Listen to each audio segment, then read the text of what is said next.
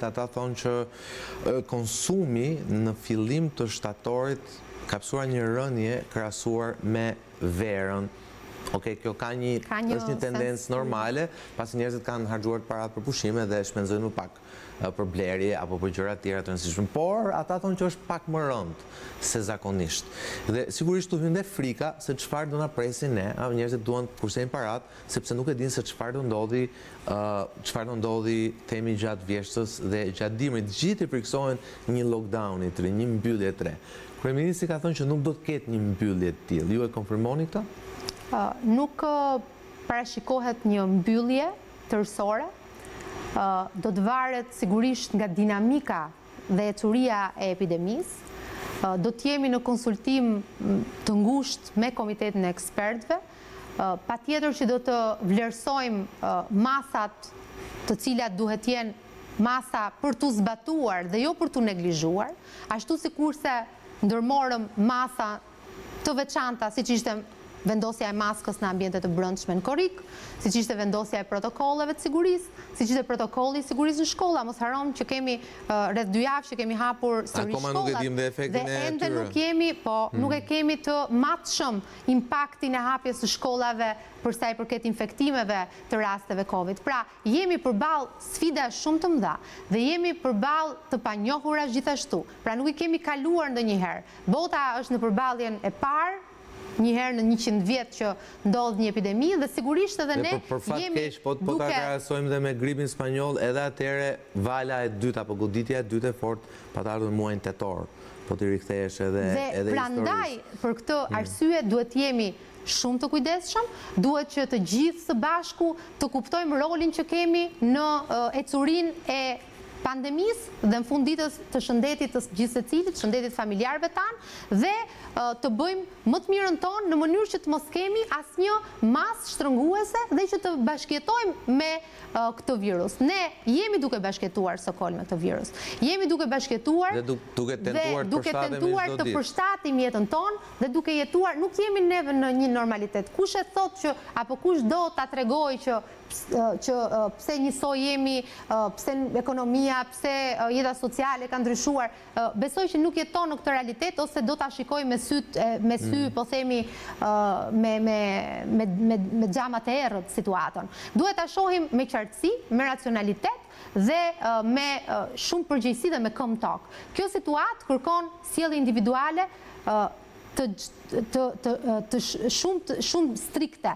pra kërkon që çdo njeri të jetë i përgjegjshëm për veten dhe për ata që rrethon që pra që është në kontakt të afërt. Dhe nëse ne do jemi të përgjegjshëm, atëherë ne do kemi në dorë zhvillimin e jetës sonë dhe jetës kolektive. Ndaj besoj që ky është ky është ose kjo është përgjegjësia që duhet kemi të gjithë, si qytetar dhe kjo është pastaj ajo që neve do na japi një armë më shumë për ta administruar ne virusin dhe jo për të na administruar virusi ne. Zonja ministre, sigurisht edhe për shkak të vitit elektoral etj etj dhe për shkak të faktit që në gjithë botën menaxhimi i situatës koronavirusit është dhe do kthehet në një tezë fort politike, Shtetet e Bashkuara sot kanë regjistruar në orët e para të mëngjesit viktimën e dyqind mijë dhe sigurisht që nëse Presidenti Trump themi do humbasë zgjedhjet, do humbasë zgjedhjet kryesisht për shkak tek amerikanët e thjeshtë për shkak të mënyrës se si ai menaxhoi krizën. Po do ju pyes për këtë, kam vetëm një pyetje tjetër që lidhet me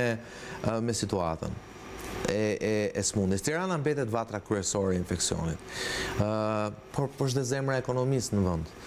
A përjashtohet ose në të kundërt a mund të merret a do të merret në konsideratë një smart lockdown lokal vetëm për Tiranën apo zona të caktuara nëse shkalla e përhapjes së virusit do të do të do të rritet? Nuk rezultoi i suksesshëm as lockdowni që bëri që që u bë në në Milano parcial.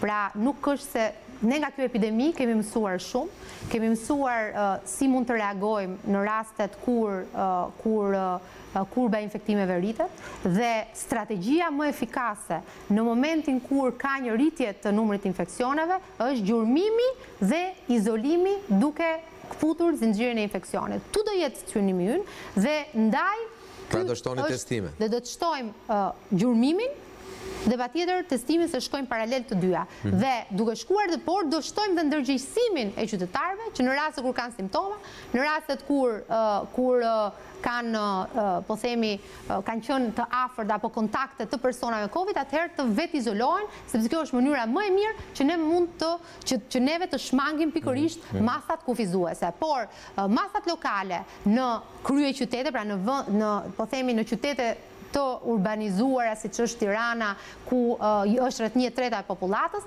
është i vështirë mbyllja parciale sepse gjithmonë do të ketë po themi intensitet të lëvizjes dhe të shkëmbimit po themi të qytetarëve, kështu që praktikisht rezulton jo një masë eficiente. Sigurisht ne kemi një plan se si mund të operohet në rastet kur ka një një vatër të caktuar infeksioni dhe si izolohet vatra e infeksionit në momentin kur është në një institucion, në momentin kur është në një kopësht, në një çerdhe, në një shkollë, në një fasoneri, në një call center, në një biznes, pra Të gjitha këto protokolle janë dhe të cilat i kemi aplikuar dhe kanë rezultuar efikase. Ajo çfarë do të bëjë, atë çfarë ne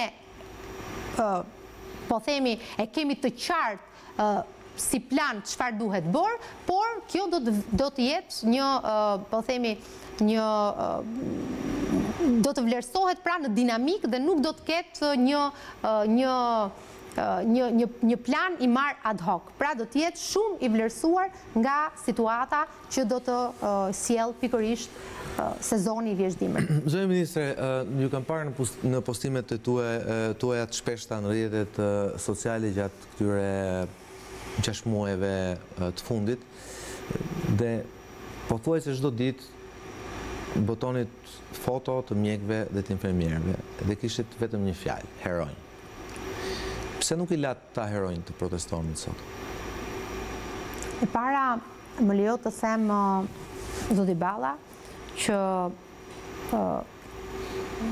një sindikata e mjekëve i është drejtuar Policisë së Shtetit me një kërkesë dhe unë nuk dua të komentoj institucionet ligjzbatuese mbi atë çfarë ato kanë për detyrë të të bëjnë.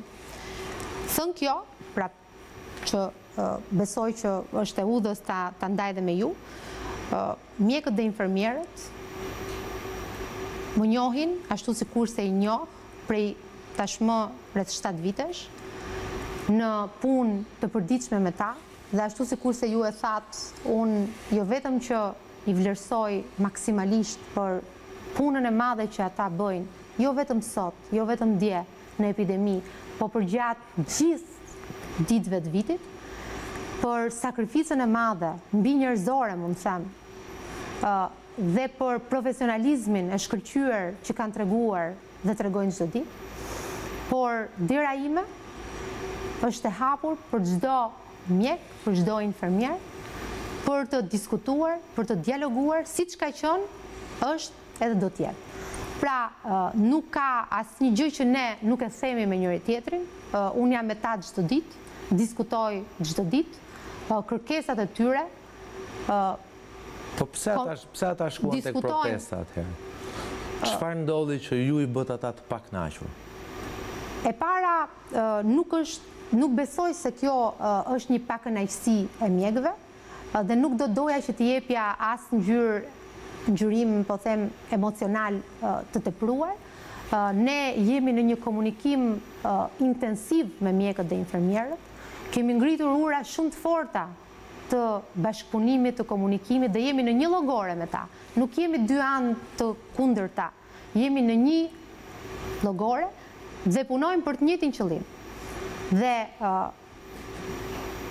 Ashtu sikurse premtimet i kemi mbajtur në çdo ditë të punës sonë, deklarata e kryeministrit, janë paguar këta mjekë e infermierë? Deklarata, po, deklarata e kryeministrit, deklarata, t'jua them, deklarata e kryeministrit pak ditë më parë, që tregon realisht vlerësimin maksimal për punën e gjithë personelit mjekësor, për rritjen historike të pagave që do të ketë personeli mjekësor, është prova më e mirë që ne i japim këtij personeli që po punon, po sakrifikon dhe po na nderon në çdo ditë të punës tyre. në shërbim të qytetarëve shqiptarë. Në dijenin tuaj për çfarë protestojnë këta mjekë dhe infermierë?